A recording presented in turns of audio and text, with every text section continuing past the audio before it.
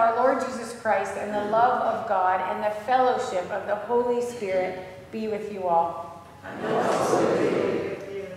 Almighty God, to you all hearts are open, all desires known, and from you no secrets are hidden. Cleanse the thoughts of our hearts by the inspiration of the Holy Spirit, that we may perfectly love you and worthily magnify your holy name through Christ our Lord. Amen. And let us pray the collect of the day together. O God, the protector of all who trust in you, without whom nothing is strong, nothing is holy, increase and multiply upon us your mercy, that with you as our ruler and guide, we may so pass through things temporal, that we lose not things eternal. Through Jesus Christ our Lord, who lives and reigns with you in the Holy Spirit, one God, now and forever. Amen. And let us listen for the word of God in Scripture.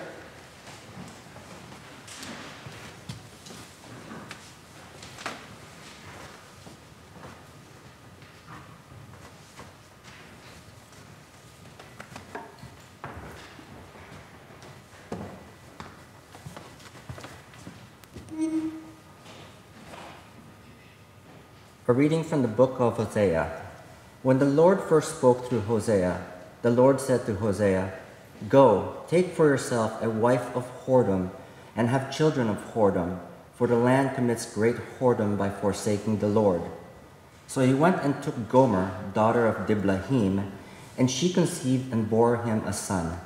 And the Lord said to him, Name him Jezreel, for in a little while I will punish the house of Jehu for the blood of Jezreel, and I will put an end to the kingdom of the house of Israel. On that day I will break the bow of Israel in the valley of Jezreel.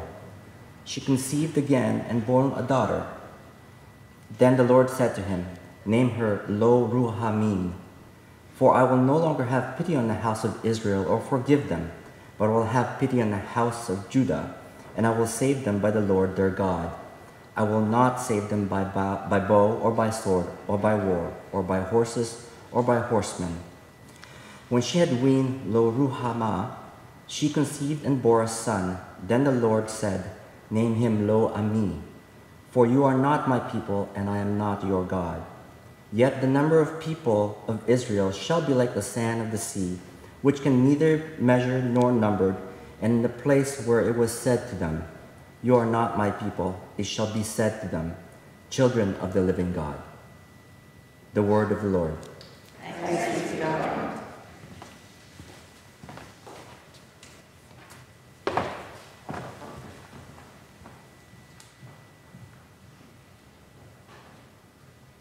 And let us say Psalm 85 together responsively.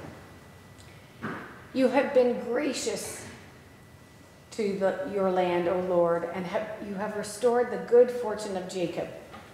You have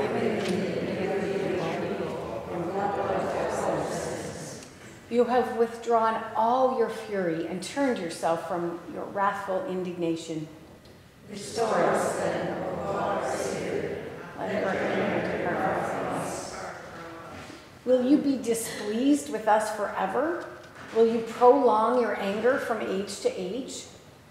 You will not give us life again, that your people may rejoice in you. Show us your mercy, O Lord, and grant us your salvation. I will listen to what the Lord God is saying, for he seeks peace to his faithful people, and to those who turn their hearts to him. Truly, his salvation is very near to those who fear him, that his glory may dwell in our land. Mercy and truth have met together. Righteousness and peace have kissed each other.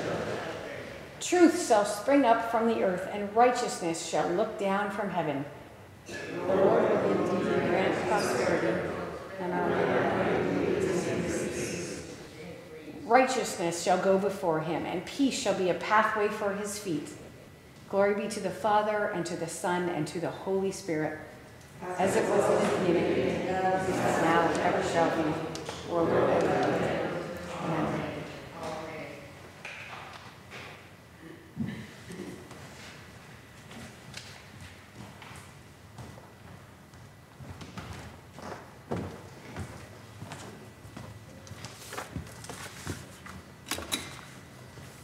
A reading from the letter of Paul to the Colossians. As you are therefore have received Christ Jesus the Lord, continue to live your lives in him, rooted and built up in him, and established in the faith, just as you were taught, abounding in thanksgiving. See to it that no one takes you captive through philosophy and empty deceit, according to human tradition, according to the elemental spirits of the universe, and not according to Christ. For in him the whole fullness of deity dwells bodily, and you have come to fullness in him, who is the head of every ruler and authority.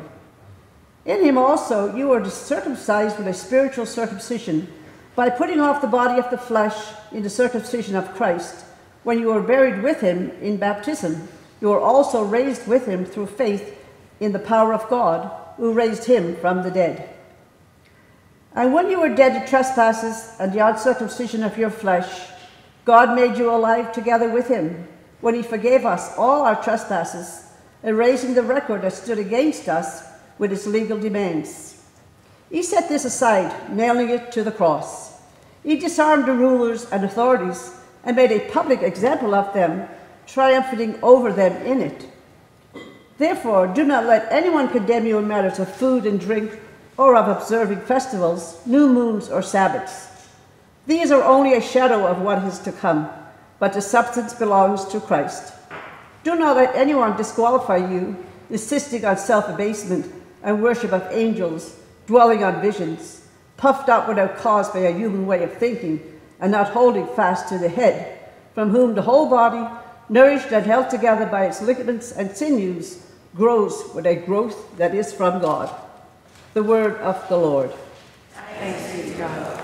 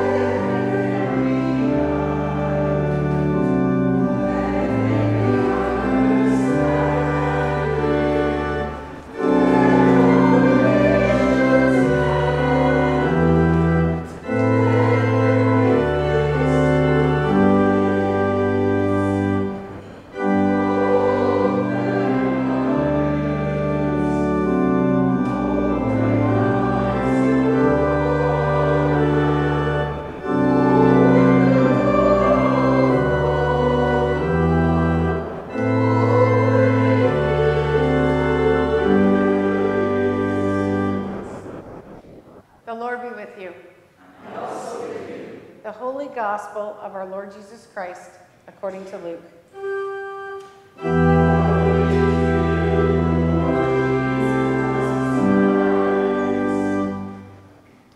Jesus was praying in a certain place, and after he had finished, one of his disciples said to him, Lord, teach us to pray, as John taught his disciples.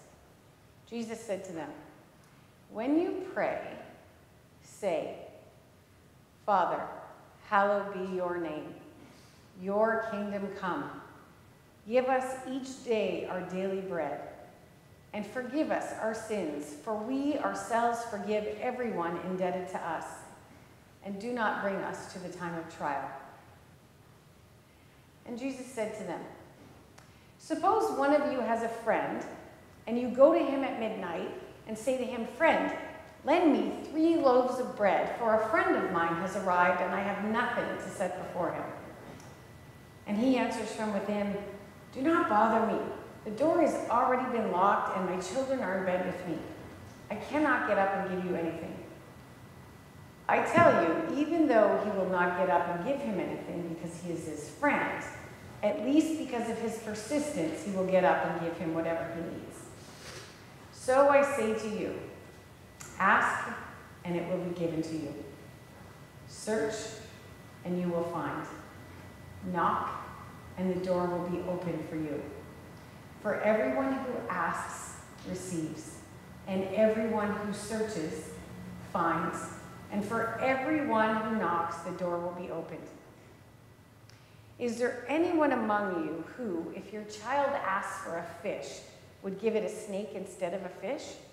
Or if a child asks for an egg, will give it a scorpion? If you then, who are evil, know how to give good gifts to your children, how much more will the Heavenly Father give the Holy Spirit to those who ask Him? The Gospel of Christ.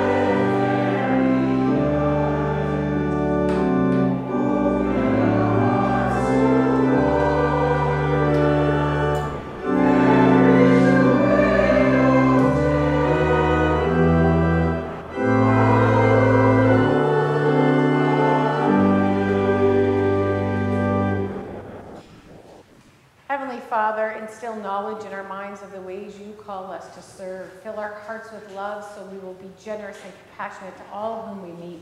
and keep our bodies healthy and strong so we may be active in living your will. Amen.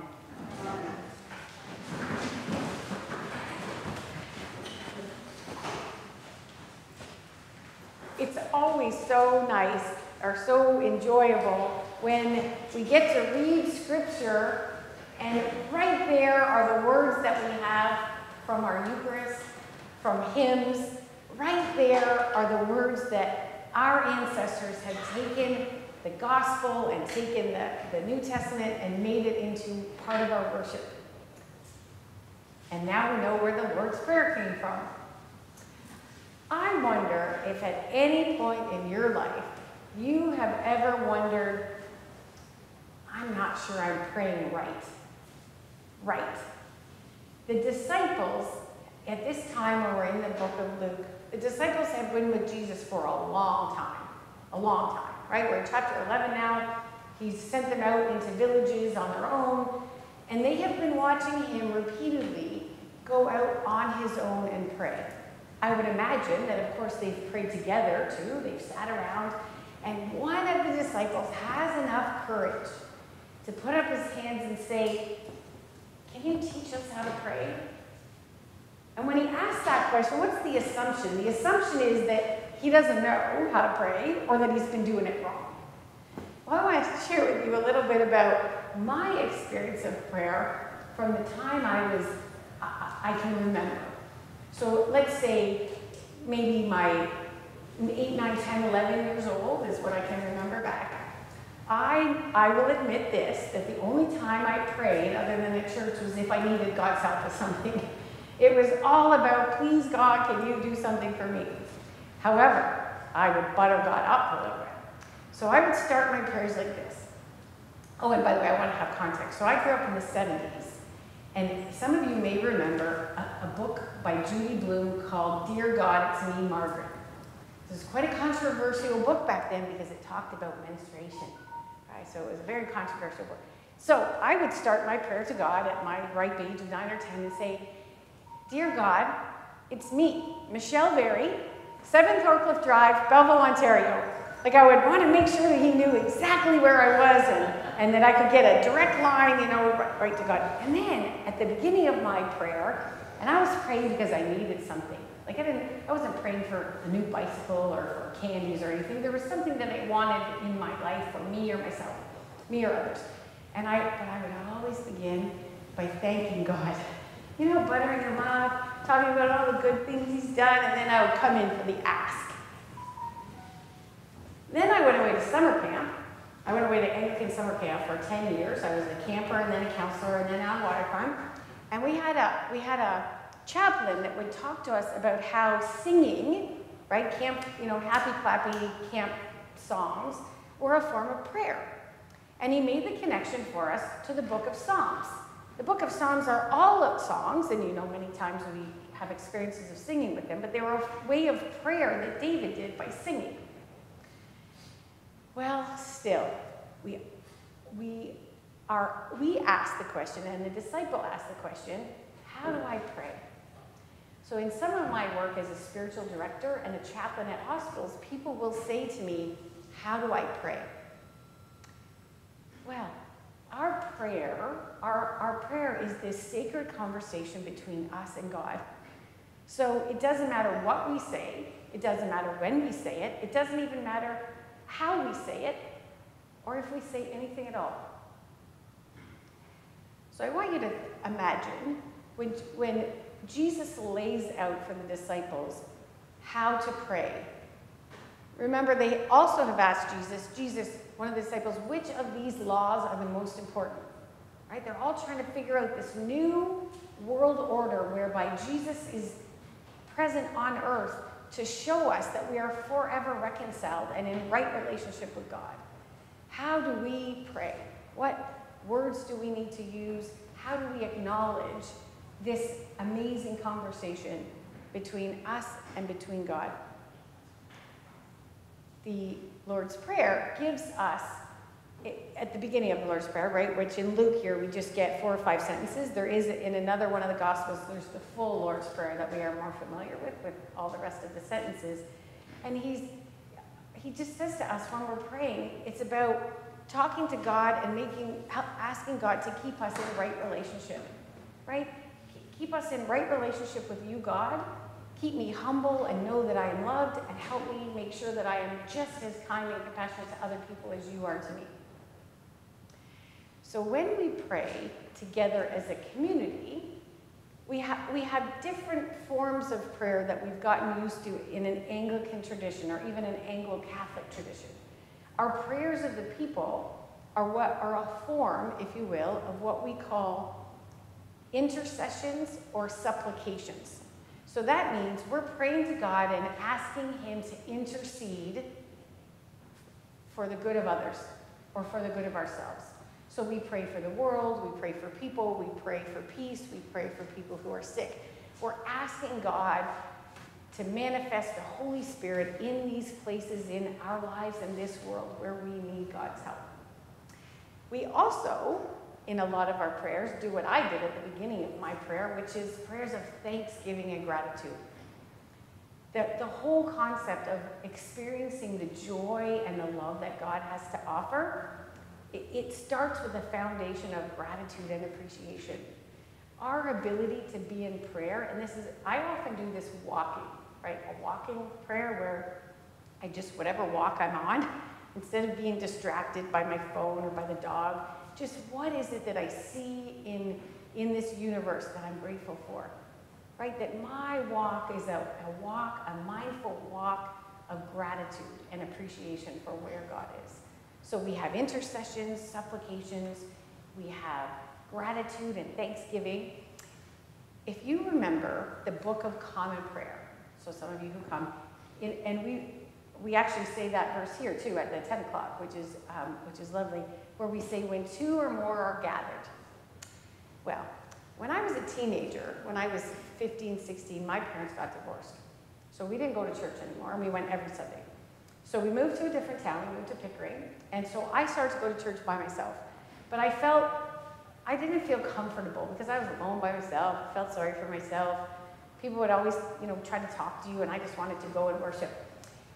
And I, I believed, falsely, that my prayers, like me praying alone, my intercessions and my prayers of thanksgiving, that it, it wasn't worthy because it was just little old me, right? It was just me. So, because I believe you had to have two or three people, where two or more are gathered. So, this is what I did. I was a, I was a runner. I played soccer, so I did a lot of running. So, on Saturday nights, before I went out or did whatever, I would go running with my prayers that I had written all out on my little, you know, sheets of notepaper, and I'd stick them in my running shorts, or my Walkman, my pouch actually, my Walkman pouch, and I would go running to the Anglican Church in Pickering, Ontario, and at the front of the church was a big door with big stone steps that we didn't use. We used the side door. And I would shove all my prayers underneath the stairs because then tomorrow, two or three people would be gathered and my prayers would count for something. 25 years later, my husband and I went back to that church one day, a great day in Pickering, drove up, dug all out, and there were all my papers. All my papers, a year and a half worth of prayers I'd been shoving under the stairs. So here's the thing about our conversations with God our desire to be in relationship with God and to open our hearts and our souls to where it is and how it is that God's love is in our life, that's prayer. That's prayer. So there is no right way to pray, there is no wrong way to pray. There's a way that says, I want to open up a dialogue. And sometimes you feel like giving thanks, sometimes you need to ask and you need to you need to ask specifically for what we want. There are other times though where the the the manifesting of God in conversation with us will come to us when we are completely quiet. There is an ancient form of prayer that the monastic traditions of the Christian church, many, many of them follow, called contemplative prayer. Have anyone heard of contemplative prayer? So I learned contemplative prayer at a monastery in Cambridge, Massachusetts with Anglican monks in 2007. I was at this uh, farm-like retreat center for seven days, silent, and we had five services a day. And at the seven o'clock evening service, which was the second last one, they would do contemplative prayer. So the very first time I showed up, all the pew, like all the pews are taken away. There's some cushions, there's some prayer benches, there's some little stools, and at the front, on a stand, there's an icon, right, of a nice religious icon picture. And in this case, it was, um, it was, it was the Virgin Mary with baby Jesus in her arms, but also Jesus adult behind her, right? So kind of you could fix on it. No instructions, no bulletin, no leader. So what's happening here? Like, when does this get started? Like, what's happening? So then one of the monks obviously saw that I didn't know what I was doing taps me on the shoulder, he takes me outside, the, the worship area, and he says, Have you ever done contemplative prayer? I No. So he said, Just be still and know that I am God. Psalm 46:10. Just be still. Focus on the icon, just as a way to focus your thoughts, so that if you get distracted and any other thoughts come into your mind, just bring it back to the picture. No judgment. And just if you, if you feel that you need to invite yourself into this prayer, contemplative prayer, simply ask God, where are you calling me? So contemplative prayer is about, you know, how you we see the busyness of the butterflies, right, or the moths, and how they, when they finally sit down and they're just quiet and still. Our ability to be quiet and to be still is to allow God's messages to get through. I say it's kind of like we, we, you know, in our lives we get too many text messages and too many phone calls and too many voicemails. Well, God's presence in our life is like that. And often because we learn to pray by, by being active. Remember, like Martha last, last week? Martha was busy doing, doing, doing, doing. Whereas Mary sat at Jesus' feet and just listened. She listened for what was it that God was calling her forward in her life.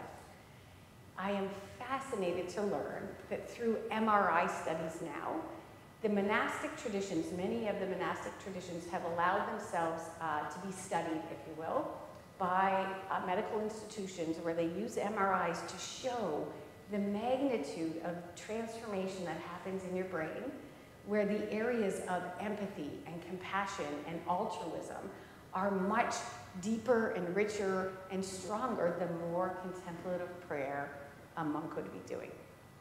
So as we think about our busyness and our, our, our belief that there's a right way to pray, we have lots of tools at our disposal. We have the Lord's Prayer, right? I always say to people, if you need to keep it, if you want to, if you, if you feel overwhelmed, start with the Lord's Prayer.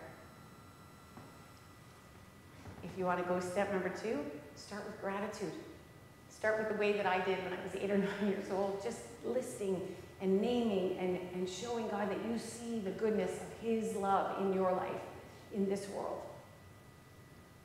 And you don't need two or three people when we need to put our petitions to God. And then, if there are times in your life that you want to live more from your spiritual self and you're not quite sure how to do that or where to do that, that's where contemplative prayer gives us this opportunity just to be still and say, okay, show me the way. Let me be still and aware enough to hear through all the other messages the world is sending me, what are you saying to me? I often get asked, often, often, about prayer. And I learned this five finger prayer probably 10 years ago. I went back to the summer camp that I grew up at as the chaplain, which is cool because my kids came too. And at this summer camp, so there's swimming and archery and crafts and all kinds of other stuff. And the kids all come to the chaplain for an hour and a half every day, which is amazing when you think about it, right? So what child has ever experienced an hour and a half of like chaplain God? There's only so many coloring sheets you can do, like Sunday school. So I had this kind of approach as if as if we were all learning disciples like from the very beginning. And one of the topics that we talked about over two days was how to pray. And so I just want to share with you this little prayer because if you ever have people in your life who are, you know, wanting to pray or you yourself want something more than the Lord's Prayer, called the five finger prayer. Everyone get your hand out because I want you to remember this. So first, the thumb. The first thing we pray for is people close to us, people close to me, right? People that we love, that we care about, even people that we don't necessarily find it easy to love and care about, people that are close to us in our world that we know. Pointer finger. People that point us in the right direction. So, educators and uh, teachers, people that show us the way, that help us, doctors, you know, with knowledge and insight. I never, you know, the finger I'm holding up now, this one, not going to do that. This finger, if you look at your hand, this finger is the tallest finger of all your fingers. is the tallest. So when we get to this finger, we pray for those in positions of power and authority and influence, right? And, and you see it often in our prayers of the people. We pray for their judgment and their discernment and their compassion. The ring finger. Try to move your ring finger alone without another finger. You can't do it. It's weak. It's the weakest finger you have, your ring finger. And the ring finger then reminds us to pray for those who are weak, right? Who are suffering, who are marginalized, who are sick, right? Who are in need of the knowledge and sense that God is present in their lives. And then the little ring finger, little old me. Pray for yourself. Pray for what we need. So that's a five finger prayer. People close to us, people that guide, lead, direct, teach, people in positions of power, authority, influence in the world, those that are weak, hurting, not strong, and little old me. So I wish you a rich and robust prayer life where you know that God is always listening. You don't need to tell him your last name or where you live. You don't even need to butter him up with words of thanks. It is a conversation, it is a platform by which God is always waiting always sitting pensively, waiting for us to open up our hearts and our minds and our souls to be in relationship with Him. Amen.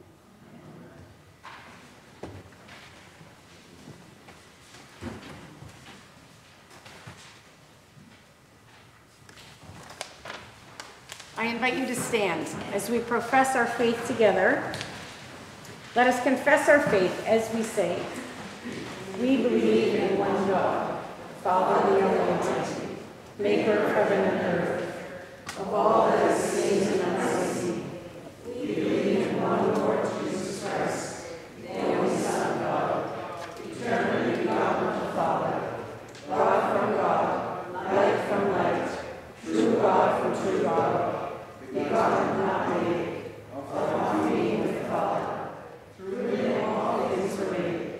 For us and for our salvation, he came down from heaven. By the power of the Holy Spirit, he became incarnate from the Virgin Mary and was made a man. For our sake, he was crucified and crucified. He suffered death and was buried.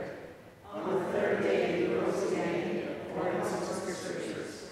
He ascended into heaven and is seated at the right hand of the Father.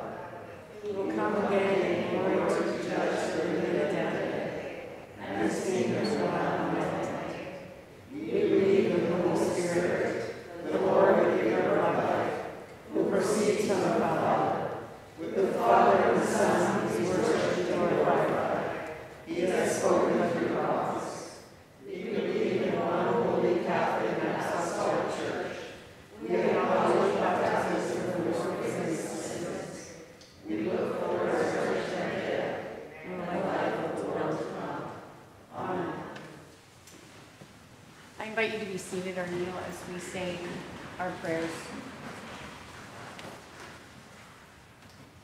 Let us pray with confidence to the Lord, singing.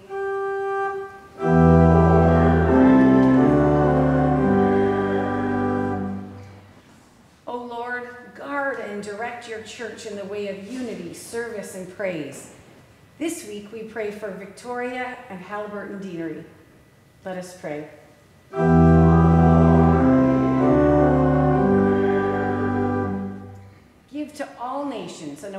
Of the unity of the Holy Family. Let us pray.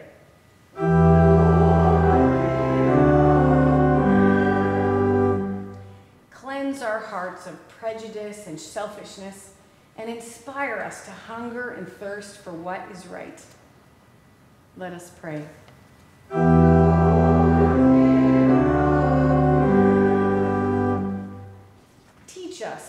Use your creation for your greater praise, that all may share the good things you provide.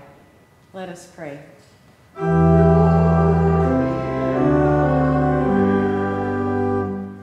Strengthen all who give their energy or skill for the healing of those who are sick in body or mind.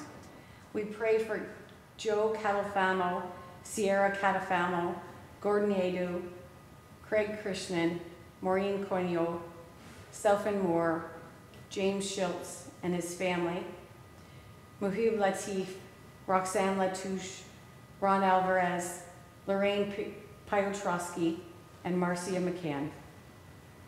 Let us pray.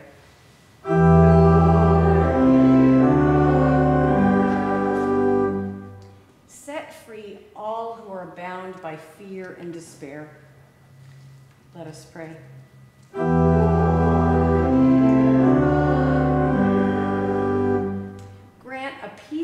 And eternal rest to all whom have died. Diane Clark and Isabel Morrison, for whom our memorial flowers are offered today, and your comfort to those who mourn. Let us pray.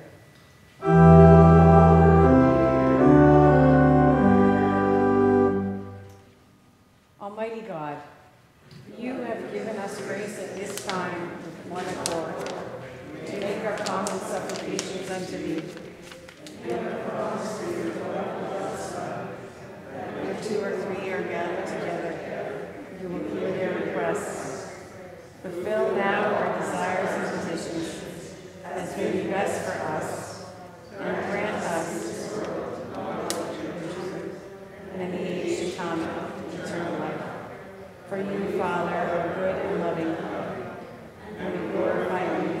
Son, Jesus Christ our Lord,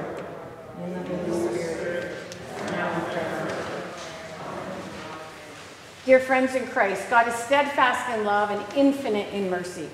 He welcomes sinners and invites them to his table. Let us confess our sins, confident in God's forgiveness. Most merciful God, we confess that we have sinned against you in thought, word, and deed, by what we have done and by what we have left undone. We have not loved you with our whole heart. We have not loved our neighbors as ourselves. We are truly sorry and we humbly repent. For the sake of your Son, Jesus Christ, have mercy on us and forgive us, that we may delight in your will and walk in your ways to the glory of your name. Amen. Almighty God, have mercy upon us. Harden and deliver us from all our sins. Confirm and strengthen us in all goodness, and keep us in eternal life. Through Jesus Christ our Lord. Amen. The peace of the Lord be always with you. Let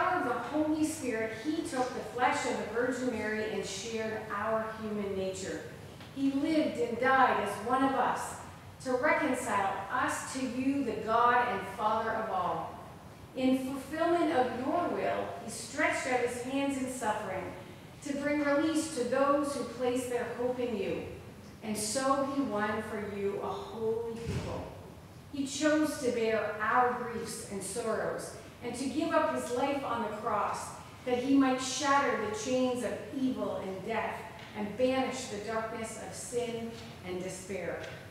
By his resurrection, he brings us into the light of your presence. Now with all creation, we raise our voices to proclaim the glory of your name.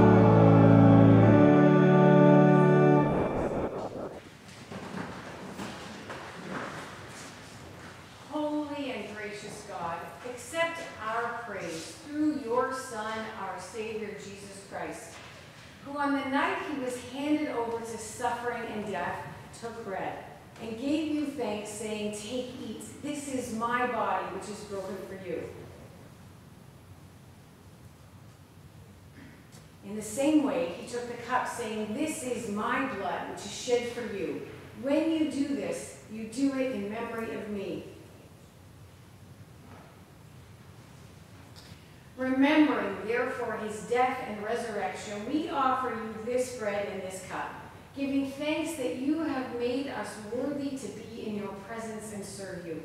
We ask you to send your Holy Spirit upon the offering of your holy church. Gather into one all who share in these sacred mysteries, filling them with the Holy Spirit and confirming their faith in the truth, that together we may praise you and give you glory through your servant, Jesus Christ. All honor and glory are yours, Father and Son, with the Holy Spirit, in the Holy Church, now and forever. Amen. Amen.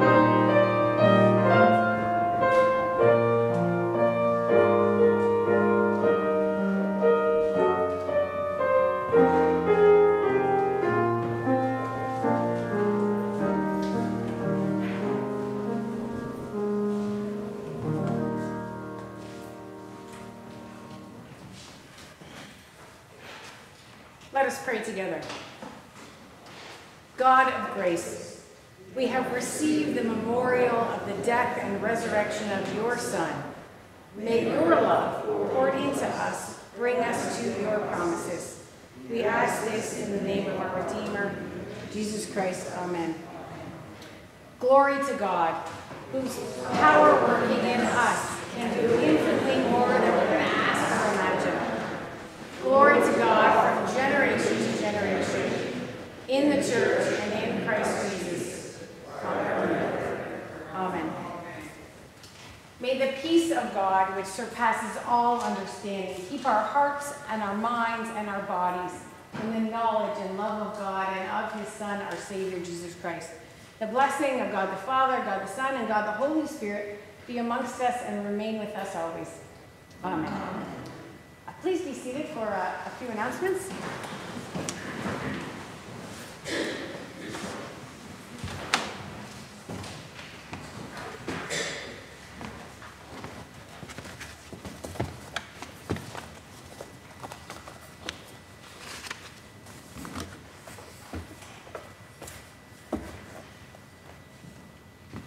Good morning, everyone.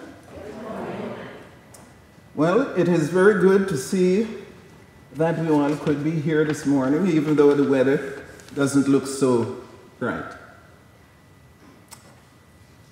Anyway, today I have a number of uh, announcements to make, and I'm going to ask you to remain with us for a few minutes at the end of the service so that we can present you with where we're at at this uh, present time. Now, first of all, I would like to say that this past week we uh, realized that Reverend Sanford will end her ministry with us uh, today. And of course, it was uh, a little bit surprising and, of course, uh, disappointing. But we must accept this as God's will and commandment. And I think today the presentation of the gospel, just uh, as I was sitting there, that revealed that to me that what we need to do is to keep on praying. And it's all indicated in this, uh, in this gospel. I wasn't thinking about it before, but it seems so appropriate what was uh, presented today. So, on behalf of this congregation, I would like to thank Reverend Sanford for our presence with us for this period of time. And I believe that we were fortunate to have had you for the past several weeks. And uh, when I listen to your presentation today, really, I just feel gratitude because it tells us, you know, the power of prayer.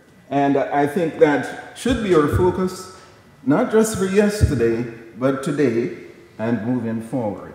We need that so much. Now, on behalf of us here at St. John, and for those who are not even present today, I'd like to say that we really appreciate your presentations and your unique interpretation of the word. That's very important. A different style in delivery, and for all the moments you share with us during our coffee hour. And I believe that you will be in our thoughts for several weeks to come, if not months. So, on behalf of the Church of St. John the Baptist, we wish you good health. Could your eyes, please? Yes, ma'am. Oh, wow. Yes, ma'am. We wish you good health, prosperity, a fruitful future. And we'd like you to accept this bouquet of flowers as a symbol of our appreciation and best wishes for your continued journey on the spiritual path. Thank you so Thank much. you very my much. My pleasure, my honor. Thank you very much.